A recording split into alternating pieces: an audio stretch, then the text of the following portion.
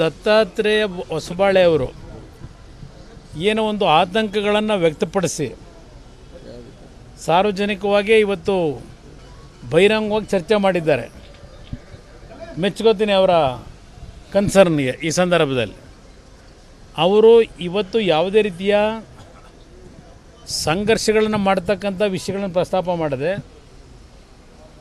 ಇವತ್ತು ಒಂದು ಸಂಘದ ಮುಖ್ಯಸ್ಥರಾಗಿ ರಾಷ್ಟ್ರದಲ್ಲಿ ಇರ್ತಕ್ಕಂಥ ನಿಜವಾದ ಚಿತ್ರಣವನ್ನು ಜನತೆ ಮುಂದೆ ನೆಟ್ಟಿದ್ದಾರೆ ಸುಮಾರು ನಾಲ್ಕು ಕೋಟಿ ನಿರುದ್ಯೋಗದ ಸಮಸ್ಯೆ ಯುವಕರಲ್ಲಿ ಇರ್ತಕ್ಕಂಥದ್ದು ಇರ್ಬೋದು. ಒಂದು ಪರ್ಸೆಂಟು ಶ್ರೀಮಂತಿಕೆ ಇರ್ತಕ್ಕಂಥದ್ದೇನಿದೆ ನಮ್ಮ ದೇಶದ ಸಂಪತ್ತು ಇಪ್ಪತ್ತು ಪರ್ಸೆಂಟು ಆದಾಯ ಏನಿದೆ.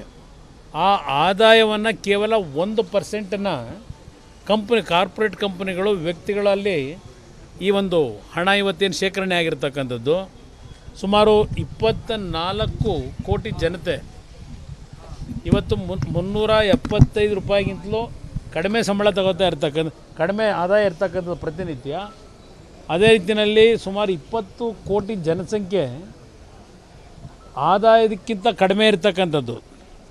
ಇದೆಲ್ಲವನ್ನು ಮಾಹಿತಿ ಇಟ್ಟಿದ್ದಾರೆ. ಜೊತೆಯಲ್ಲಿ ಇವತ್ತು ಕುಡಿಯೋ ನೀರನ್ನು, ಶುದ್ಧ ಕುಡಿಯೋ ನೀರನ್ನು ಕೊಡ್ತಕ್ಕಂಥದ್ದು.